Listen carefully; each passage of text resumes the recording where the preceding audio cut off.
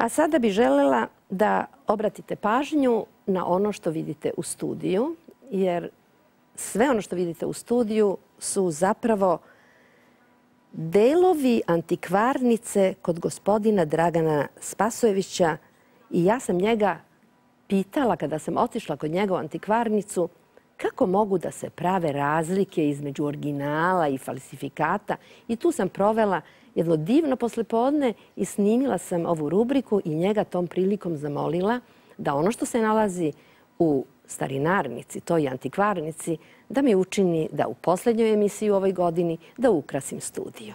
I odvešću vas tamo da uživate i vi sa mnom. Dragan Spasojević, galerista, kolekcionar, antikvar. Da li je lako prepoznati falsifikat? Nekad da, nekad ne. E, pa na prvi pogled uvek sam znao kada je Mića Popović falsifikovan. To sam nepogrešivo, mislim.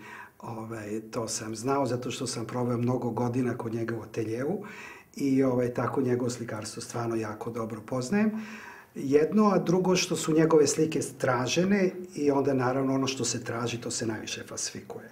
Znači za njega i za slike Kolesnikova. Kolesnikova sam sigurno video preko stotinu slika i od tih stotinu bez malo polovina su falsifikati koje se nalaze po kućama uglednih Beograđana i, ovaj, i oni su falsifikovane nekih 60. godina.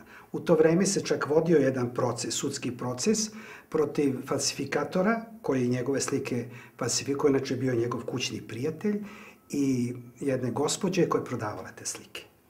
Tako da bi trebalo i danas nešto da se uradi, da se ta velika ponuda falsifikata koja postoji, da se to nekako, da ne dođe na tržište. Mislim da nikad nisam video falsifikat Pa Jovanovića, zato što sam bio vrlo, da kažem, teško ga je sigurno ovaj, falsifikovati. Falsifikuju se slike koje se rade na drvenim pločama.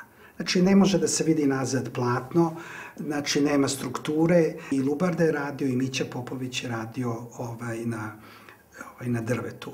Znači, može neko da kopira određenog slikara i da ga ne potpiše, može čak sebe da potpiše ovaj, kopisti u svetu kopiraju, primjera radi Van Gogha, ovoga, koji, ovaj, koji nije istih dimenzija kao što je original, on je 72 puta 92, to je neko žitno polje, nalazi se u, u metropolitenu, ali on ga potpiše ili ga ne potpiše, ali on ga nikad neće ponuditi kao Van Gogha.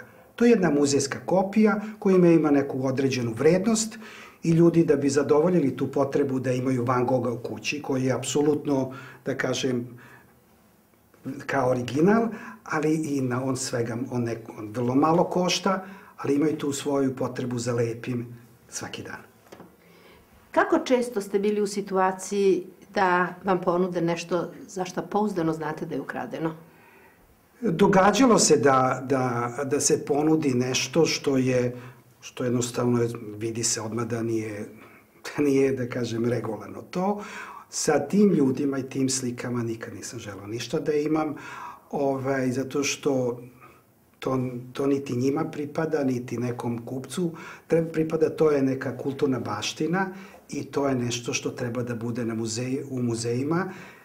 Imao sam prilike da vidim slike koje su sada bile toliko tražene, one se nalaze u Hanoveru, u Šprengel muzeju, Mislite na slike Pikasa koje su nađene da, da, koje su Picasso, ovde? Da.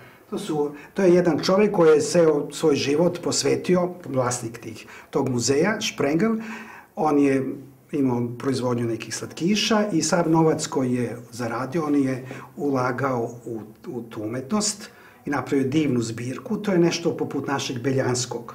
Imao sam prilike da upoznam svetski poznatog falsifikatora Kujao.